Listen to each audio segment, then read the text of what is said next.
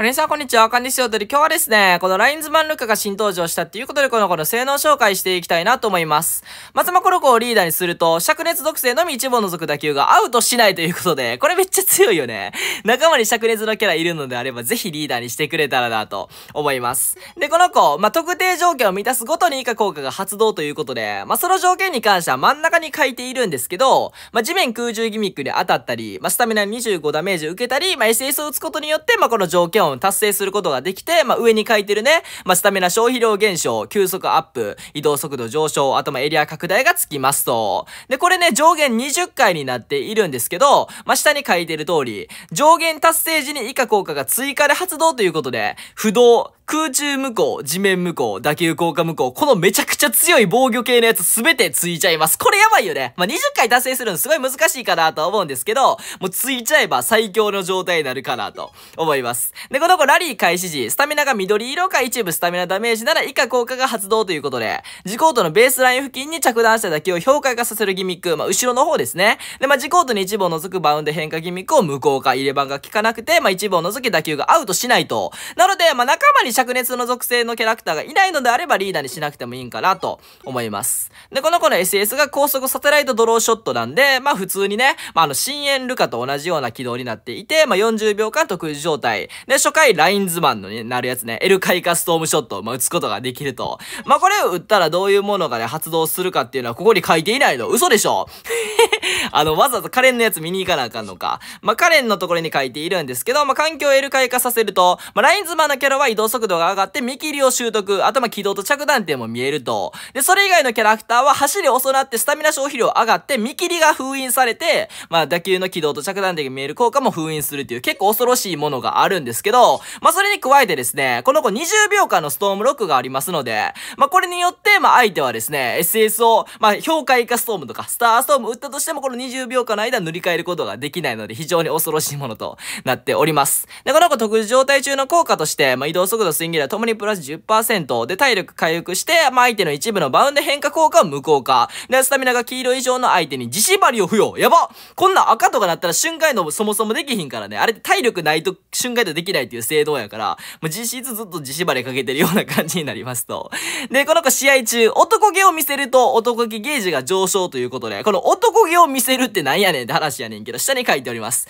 補助なしでジャスト。これ自力ジャストですね。確かにこれ男気ありますね。で、次、弾を打ち上げる、飛びつく。え、なになにそれ男気なんて感じやけど、まあ、これらも男気を見せる、まあ、あの、項目に入っていて、まあ、相手の SS をね、もう補給すると男気見せる。わかりますね。しかも、ボレーなら追加上昇するんで、前で取った方がかっこいいってことなんでしょう。で、まあ、スマッシュ打った時も男気を見せることができますので、まあ、これで、まあ、どんどんね、男気ゲージが上昇していきますと。で、これゲージが最大になると、アナザーアクションボタンを押せるようになりまして、まあ、それを押したら30秒間、男気モードになりますと。で、この状態中は、一定打球ごとに相手コートに障害物の文字ギミックを発生。これが何かわからん。で、まあ、ギミックは、横断、中断、ランダム落下の3種類が、まあ、順に発生と。はい。で、まあ、SS がオンザラインになる。え、やばオンザラインサテライトドローショット打てんの？これ結構やばめですね。で、次、まあ、この子常時ですね、移動速度シンギュラープラス10%ずつ。で、まあ、打球硬直無効もついてるの。やばで、千里眼ついてて、ダイレクト無効。で、一部状態上無効。エアスマッシュもあって強化特殊状態解除受け付けない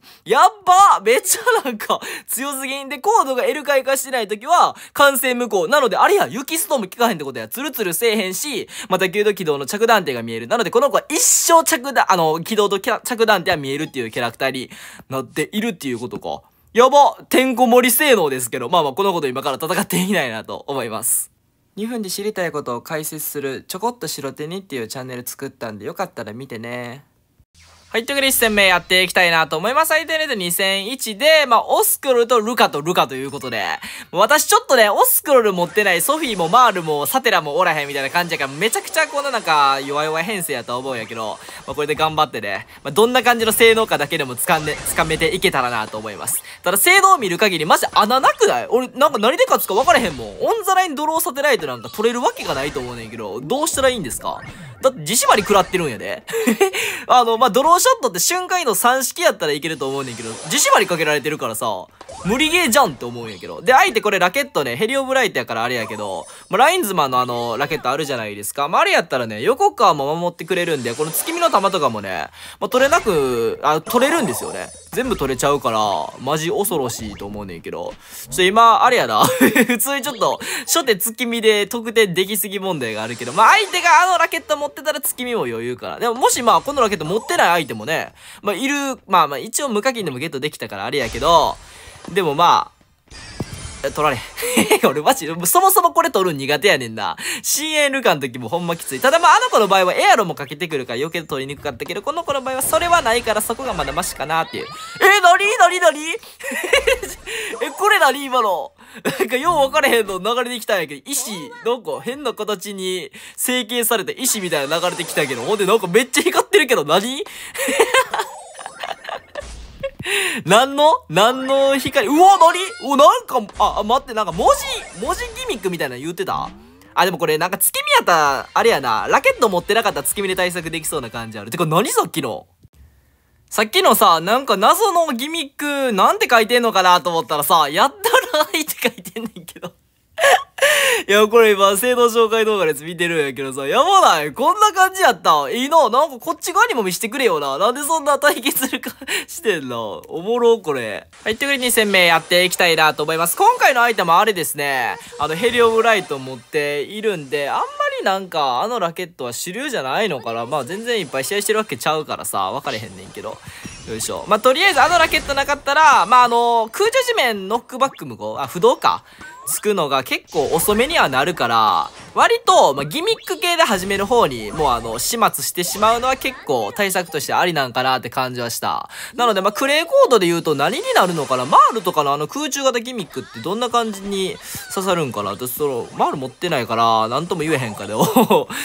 例えばだから、まあ、剣聖とか使ってみて面白いかもしれへんやんな。あの、うわーってやつさ、あれ結構、なんかえぐめなギミックやんか。だからまあそういう無効系なんもなかったら結構厳しそう。で、今ストームロックかかってるからこれ雪打ってもツルツルしないと。っていうかまあもし塗り替えたとしても相手はもうツルツルしないんで、まあ実質塗り替える価値はもうスターストームぐらいしかないよね。もしまあ塗り替えるとしても。でもクレイのスターストームってインデックス以外おったっけ？あ、アルベドがおるか。アルベドやったらまあつこでもええかもしれへんけど、どうやろな。さあ勝負だ対決するか。よいしょ。ああ。もうなんならこの子は対決ルカじゃないからね。ラインズマン、対決ルカがラインズマンとして新登場したから、まあラインズマンルカって呼ばないといけないですよね。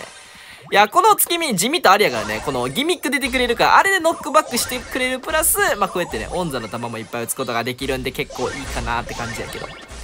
ただ相手のオンザラインのさ、あれ絶対取られへんと思うねんけど、オンザラインドローショット。あれをどうさばいていくかやんな。やっぱりまあ、すんげえ広いキャラクターじゃないと無理。でもさ、サテライトってさ、マジでその、軌道予測ができひんやん。飛炎やったら取り方あるやんか？あと、なにこれなにこれ？あ、相手のあれか。わ、めっちゃタイミング悪いな。今、飛炎やったら取れるみたいな、こと言うてたのに、普通にやられてしまった。まあ、身構えとったら、まあ、飛炎とかってさ、ちょっとこっち来るまで時間あるやん。一回遠回りしていくやんか。まあ、それが、まあ、あの、なんていうの、フェイントになって強いっていうのが飛炎ショットの強みではあるんですけど、まあ、一応そのなんか、前触れというか、最終的にこっち来るよね、みたいな予想できるけど、サテライトとかに関してはさ、マジでまっすぐもうそのままドンっていくやん。だから、あれ、どうやって取るん？しかも、まあ、ヘリオなんか持ってたらなおさら無理でしょしかもオンザラインでしょやばいなーって俺は思うけど、まあ、もしなんか、いい感じの対策キャラとか、思いついたらコメント欄とかで教えていただけると嬉しいなと思います。ということで、また皆さんお会いしましょうバイバイ。